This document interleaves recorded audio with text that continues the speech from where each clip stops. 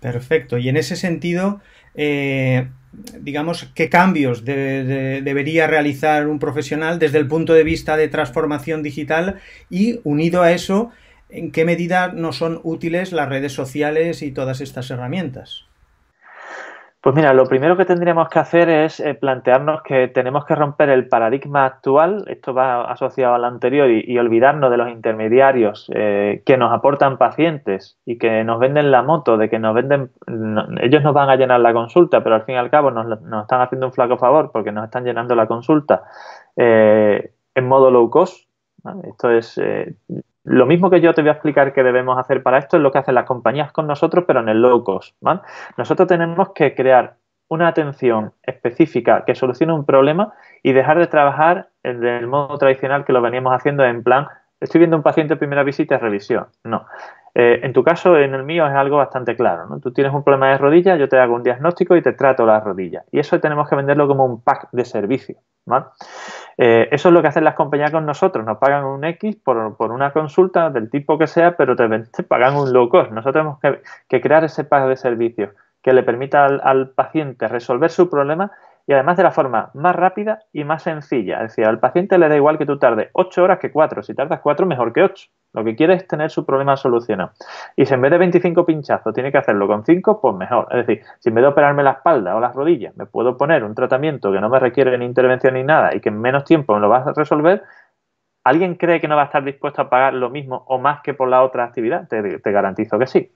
Yo te pongo el ejemplo siempre de mi actividad. Hay centros de, psicología, pedagogía, etcétera, que tardan tres días en hacer una evaluación de TDAH y cobran mm, mm, más de lo que cobramos nosotros. Nosotros, nosotros hacemos una evaluación de TDAH en dos horas y los pacientes de, la consulta se van con el diagnóstico y el tratamiento puesto y el seguimiento. De manera que las familias cuando se, encuentran ante esa posibilidad dicen, pero si me estaban pidiendo 800 euros en tal sitio por tres días y vosotros por 350 en dos horas lo tenéis solucionado. Pues sí, este es el sistema y estas son las herramientas que usamos. Pues al final van de cabeza, ¿no? Y si en vez de 350 le pidieras, le pidieras 500, pues probablemente también. Pero bueno, eh, tenemos que crear ese pack, digamos, de servicios eh, teniendo en cuenta que tenemos que aportar eh, un valor suficiente como para que el paciente valore la importancia de esa solución que nosotros le, estamos dando. Y el punto dos, eh, aunque esto ya se podría extender mucho, pero el punto dos es pensar en, en que una transformación digital no consiste básicamente en hacer digital lo que estamos haciendo en presencial. Tenemos que coger las herramientas, los medios y todas las, opciones que tenemos eh, gracias a las nuevas tecnologías, las herramientas digitales, para implementarlas en nuestro propio sistema de trabajo. Esto no se trata solo, yo hago una consulta presencial, ahora me registro una eh, aplicación de videoconferencia, empiezo a pasar consulta online y a esperar que venga.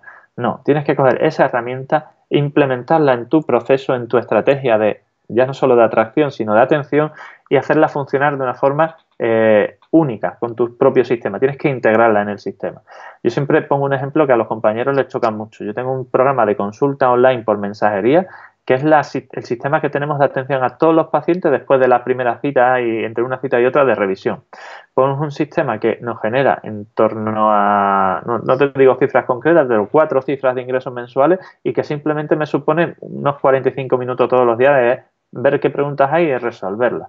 Eh, ¿Eso tú lo pones a funcionar y esperas que la gente llegue? No, tienes que implementar, tienes que integrarlo en el proceso, en ese pack de servicios para que la gente sepa que ese es el camino y cuál es el, proceso para llegar a contratar ese servicio y ese seguimiento. Bueno, perdona, me decías lo de las redes sociales, que ahí no he entrado.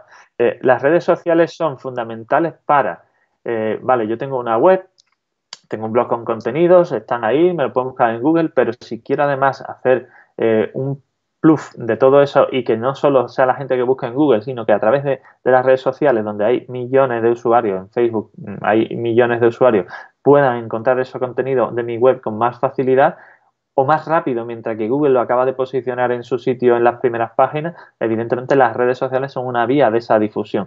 Las redes, sociales no en, plan interacción de estar respondiendo, preguntando y estar interactuando todo el día, sino desde el punto y el momento en el que podemos compartir esa información con los usuarios y crear además una comunidad de personas interesadas que muchos de ellos son candidatos evidentemente a ser clientes potenciales nuestros en el futuro.